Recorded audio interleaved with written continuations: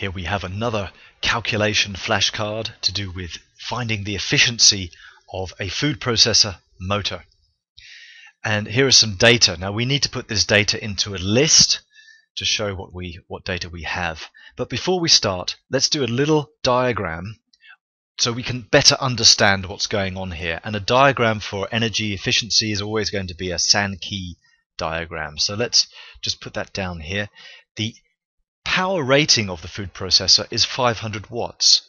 And that means that we've got an input power of 500 watts. This telling us that every second 500 joules of energy are being transformed in the food processor.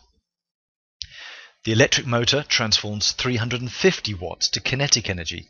So our Sankey diagram can see look a little bit like this. Oh dear, a bit of a strange Sankey diagram, but we've there we are, 350 watts of kinetic energy, and 150 make up the other bit, which is down here, 150 watts of heat and sound.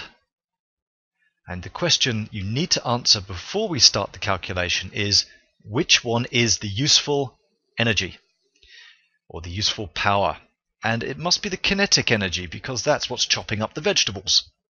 So that is useful. So now that we've done a little diagram here, and that's you could say is part of the do less diagram, list, equation, solve, state, let's do the calculation. So list. Let's list our data. The useful power out or the useful power transformed is 350 watts. 350 watts. The total power in is the 500 watts. And we're trying to find efficiency. So we put a question mark and it's percentage. Always try to make a list of data. It will make your calculations much easier. And now let's use the equation that efficiency efficiency equals useful power out divided by total power in times by 100% to get us a percentage. Let's put the numbers in. Useful power out 350. 350 watts. I'm not going to put the units in in the solve department.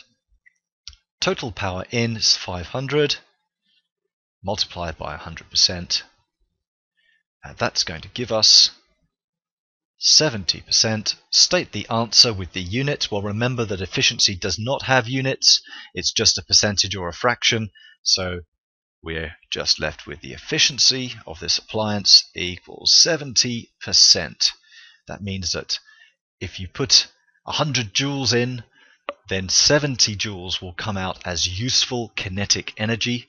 Or you could think of it if you put in 100 joules per second, that's 100 watts, then 70 joules per second will be useful power out.